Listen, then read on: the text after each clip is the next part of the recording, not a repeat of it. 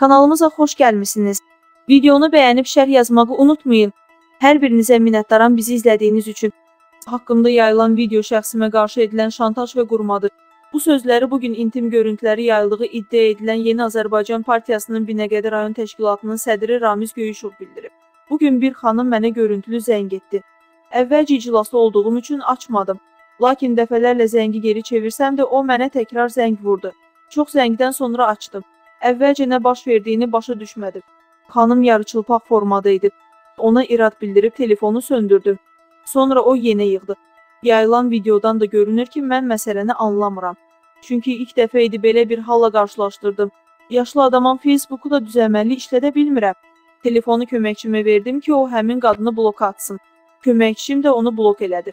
Biraz sonra mənə Türkiyə nömrəsi ilə bu video göndərildi. Məni şantaj elədilər ki, əgər onlara pul verməsəm görüntüləri yayacaqlar. Təbii ki, onların bu istəyini rədd elədim. Mən illərdir dövlətimə xidmət edən, maaşı işləyən adamam.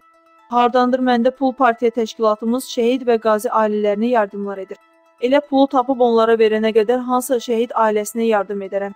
Bu baxımdan onlarla bir kəlmə belə danışmadan yeni işçilərimizdən birinə xahiş etdim ki, onu blok eləsin. İndi məndən qisas almaq üçün o video görüntünü yayıblar. Amma bu məni qəti narahat etmir, ailəmin də, dövlətimin də qarşısında alnım açıq, üzüm ağdı deyə o bildirib.